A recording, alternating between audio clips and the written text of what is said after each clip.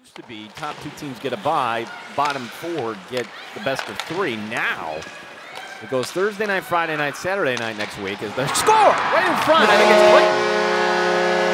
Cassie Clayton has tied it for the Tigers at one. Nice job by Reagan Rust to get the puck on net.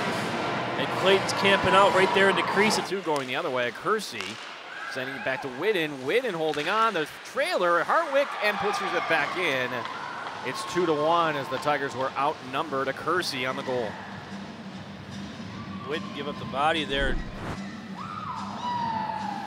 Able to uh, make sure the puck doesn't get centered and then uh, Rust trying to stick it anyway through, and that trickles in.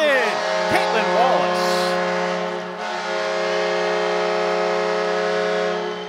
Caitlin Wallace with the putback, her eighth of the season. Tigers have tied it at two. this is all Reagan Rust who beats the defender and then gets a break. The puck deflects off their skate. And Caitlin Wallace, Johnny on the spot to put the puck in the back of the net to make it a 2-2 game. Mercyhurst holding it in, however. Isbell from the slot scores!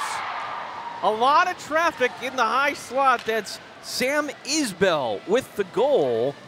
And the Lakers take the lead once again. Lantain never saw the shot, was screened. Nothing really special. You see, looked like she was screened by her own defender.